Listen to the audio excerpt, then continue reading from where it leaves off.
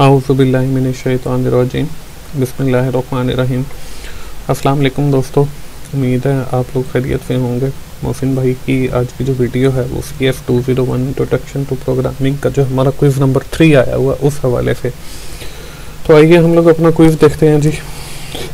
इसमें first question है जी for accessing the data member we use fill in the blanks operator इसमें plus operator है multiplication operator है dot operator and division operator है। We can use the dot operator for accessing the data member तो इसमें जो dot है third वाला, वो हमारा इसका ठीक जवाब आ जाएगा जी।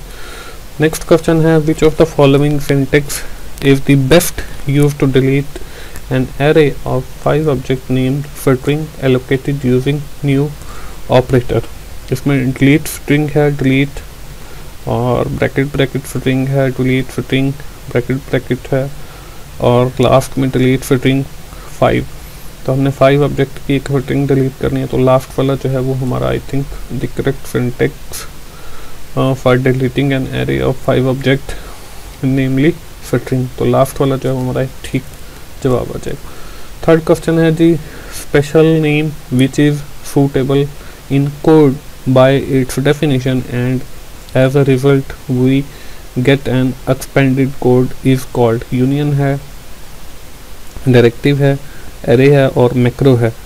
तो लास्ट वाला जो मैक्रो है, वो हमारा इसका ठीक जवाब आ जाएगा।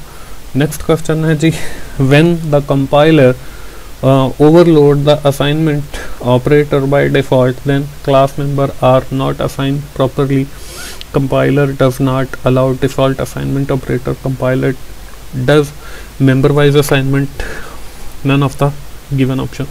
तो थर्ड वाला जो है compiler does member wise assignment तो ये हमारा इसका ठीक जवाब आ जाएगा नेक्स्ट क्वेश्चन है जी a class is a user defined data type it take five byte in a memory two byte in a memory no space in a memory unless we create an object for it no space in a memory unless we create constructor. तो मैंने जो इसका लगाया, वो third वाला लगाया no space memory unless we create an object for a class के class का उस वक्त तक मेमोरी एलोकेट नहीं होती, जब तक हम इसका कोई ऑब्जेक्ट क्रिएट ना कर लें तो थर्ड वाला जो वो इसका ठीक जवाब आ जाए। नेक्स्ट क्वेश्चन है जी define circumferences into x2 multiply by pi multiply by r is a user defined function, library function definition of a macro और utility function. तो ये हमारी एक मैक्रो है डेफिनेशन ऑफ़ मैक्रो आ जाएगा जी।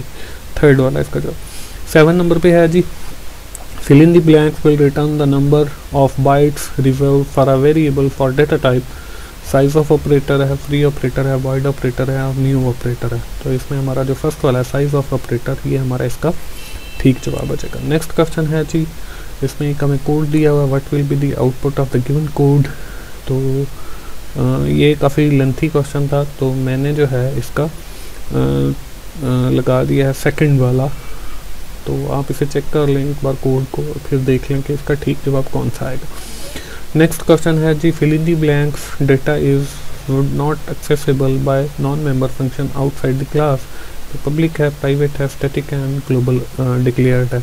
तो प्राइवेट में जो हमारी क्लास होती है, उसमें कोई भी जो नॉन मेंबर फ़ंक्शन है, वो बाहर से हमारी उस क्लास को एक्सेस नहीं कर सकता तो प्राइवेट जो है वो हमारा इसका ठीक जवाब आ जाएगा। लास्ट क्वेश्चन है जी default constructor generated by fill in the blanks does fill in the for us इसमें कंपाइलर है initialization compiler no initialization classes है। इनिशियलाइजेशन एंड मेन प्रोग्राम और मेमोरी मैन तो इसमें हमारा जो सेकंड वाला है कंपाइलर विद नो इनिशियलाइजेशन ये हमारा इसका ठीक जवाब जवाब आ जाएगा। ये था हमारा क्विज दोस्तों। C F two zero one introduction to programming का। मोहसिन भाई का चैनल देखते रहिए वेबसाइट देखते रहिए।